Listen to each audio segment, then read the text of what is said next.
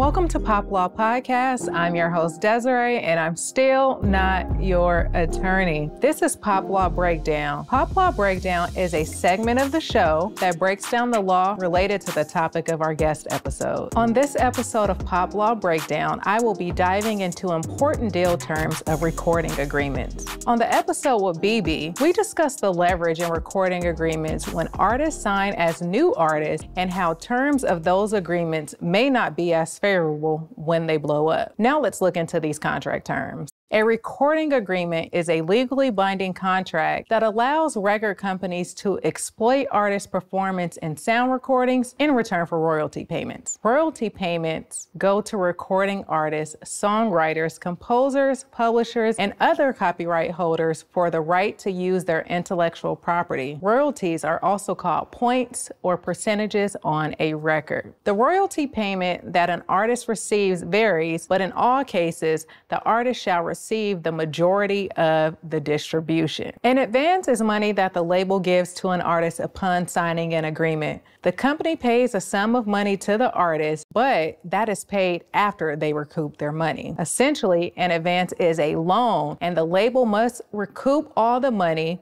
they put into the career before the artist sees any money. Cross collateralization is also an important concept in recording agreements, and it is also tied to recoupment. For example, if the label gives you $100,000 for album number one and they only make back 80,000 on the money that they put into you, then you owe them $20,000 and that is added to the debt you owe them for album number two. So let's get into the length of recording agreements. The length of a recording agreement varies based on the deal that you sign. For purposes of this conversation, let's just say the recording agreement has a term of one year with options to renew for additional periods of one year. An option is the record label's ability to extend the contract and to add another album. Because we're family, I'm gonna give y'all a little tip. The ability to exercise options should be mutual. The song length is important because it counts to whether or not the album is really satisfying the minimum album commitment, which also is key language in your recording agreement. You do not want to get into an issue whether or not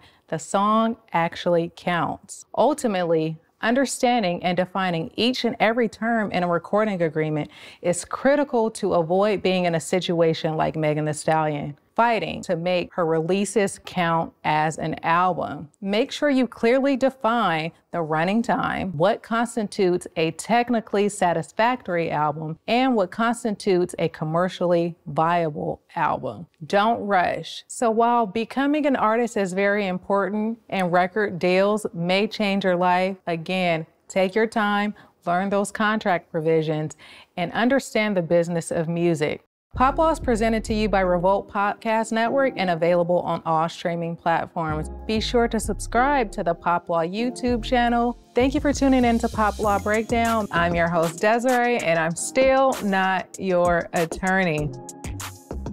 Disclaimer this episode is strictly for entertainment and educational purposes only. It is not meant to be construed as legal advice in any form.